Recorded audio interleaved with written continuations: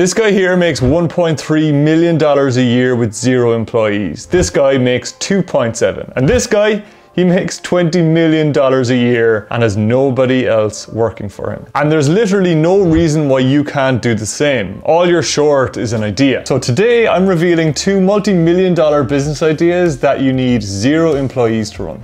And we also have an app idea that every parent in the world needs. Welcome to the only channel on YouTube serving up business ideas hotter than a polar bear at a hot yoga class. First we need a cup of tea. We are very lucky. 20 years ago, people were paying thousands of dollars to hear some of the world's leading experts speak. But thanks to podcasts, it's now free and instant. Want information on health? Go to Huberman. If you want information on psychology, go to Peterson. There are so many podcasts out there with a wealth of information. But here's the problem time. Podcasts are getting longer and longer, and I'm afraid in our busy lives we just don't have the opportunity to listen to hundreds of hours worth of podcasts every week. An app called Blinkist solved this in the book space. What they do is they provide short, bite-sized summaries of books. So let's use them as inspiration for our own solopreneur venture. Here's the idea. Create a platform that provides short, bite-sized summaries of informational podcasts. Users would sign up for the podcast for a small monthly fee and be able to access short 5 to 10 minute long episodes of informational podcasts summarized. The summaries would be generated using AI, so technically you could build a script that automates the whole thing, voices and all. Now this wouldn't necessarily work for entertainment-based podcasts, so what you're doing is you're focusing on informational-based ones like the Huberman Lab, making sense with Sam Harris, Lex Fridman, and so on. Start with a handful of podcasts, generate summaries of these podcasts, and to get traffic, comment below the episodes of the YouTube video podcast themselves. You monetize through subscription fees. If you're technical, you're sorted. If you're not technical, you might need to invest a little bit in getting the platform and technology singing together and having a developer on hand for any bugs and fixes, but otherwise, once it's developed, you can let it run itself and focus on marketing. If you want to keep this running with zero employees, this would be a phenomenal cash flow business. But if you really want to get rich, you could hire some people like Blinkist did and exit. They were acquired last year for $100 million by Go1. This particular business would be of great interest to some large podcast plays like Stitcher or Castbox. Time to introduce today's sponsor. Ah, ah, ah! It's not actually a sponsor. It's just me and my newsletter, Half Baked. This thing. It's the world's number one business idea newsletter. According to who, you ask? Well, according to my mom and these people. We send you two business ideas a week and it is completely free. So subscribe with the link down below. Let's move on. If you're offered a seat, a sheet. If you're offered a sheet on the rocket ship, don't ask what seat.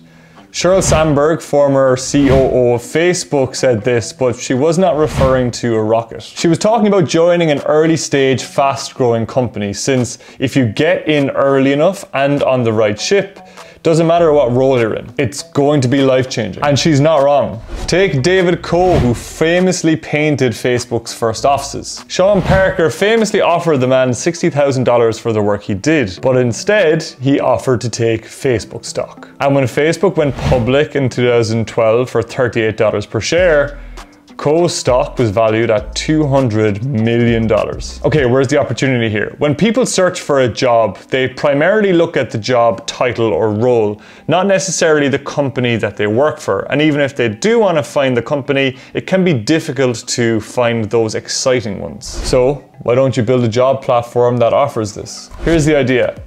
Create a jobs platform that only lists roles from high growth companies. Start by identifying certain sectors where there are many fast growing companies. You can do this in a number of ways by looking at their revenue, go to market, their traction, how much money they've raised from investors. Companies would then be graded across these various areas and those that make the threshold will be invited onto the platform. That's right, this is an invite only platform. It's going to be exclusive. This gives startups a chance to post their job to an incredibly engaging, high intent audience of employees. Start by identifying and outbounding these high growth companies and get them listed on the platform. Then you charge these startups to list a job on the platform. And if you want to be really cheeky, you could also charge the employees who want to apply for specific roles. The initial cost and management of this product is not going to be extensive. It's going to be very small.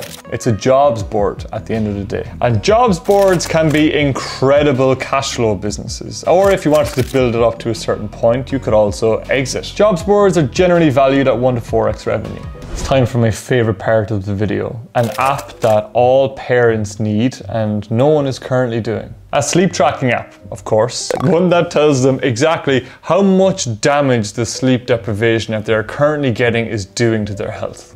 That is that is an easy win. It's not really. If you're sadistic, you could probably build that. But if you do want an easy win, endless stream of. Ah, oh, I it up. Just subscribe to Half Baked. Cheers.